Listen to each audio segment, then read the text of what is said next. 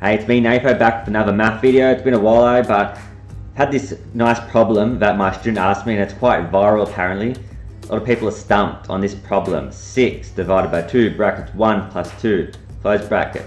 And there are two popular answers going around, 9 or 1. What's the correct answer? Well, I'm going to show you straight to point, not going to waste your time. So the answer is 9. Now I'm going to show you why it's 9. So it comes down to BODMAS i.e. your order of operations, right? So BODMAS says we have to do brackets first, and this here is your brackets.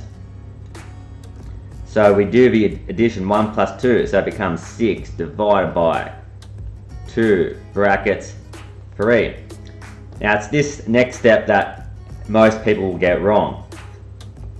They will do 2 times 3 first, before divided by 6. But what's happening here is you're dividing by 2 and then you're timesing by 3. So this is actually the same as 6 divided by 2 times 3.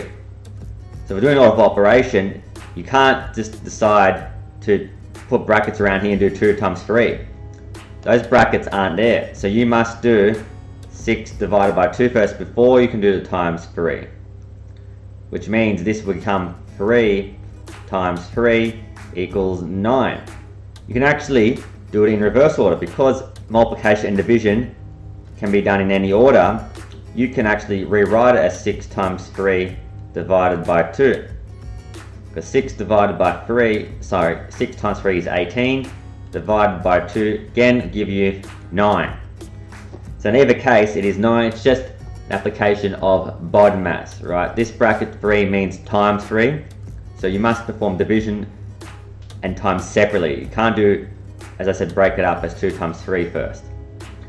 And worst case scenario, if you're not sure, just use a calculator. If you plug this into a calculator, exactly like that, it'll give you the correct answer. Alright, so I hope that clears it up. Um, if you have any other queries or problems you want solved, just give us a comment below. Alright, so I'm only doing videos based off comments. And uh, make sure to check out my new um, Aussie comedy channel. That's where I've been doing weekly videos on. I'll leave a link um, in the description. Alright guys, hope this helps.